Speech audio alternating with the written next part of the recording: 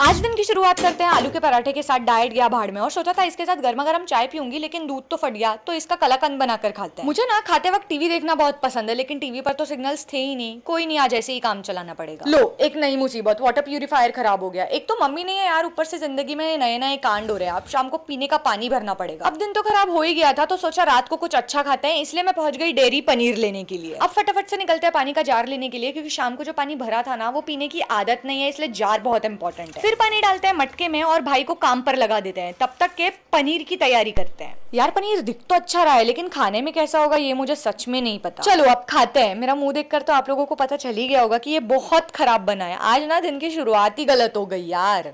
आदित्य कैसी लगी तुझे ढाबा स्टाइल पनीर? इतनी अच्छी थी इतनी ज़्यादा अच्छी थी खाया ही नहीं गया। पूरा फ्रिज में पूरा फ्रिज भर गया रस्से में।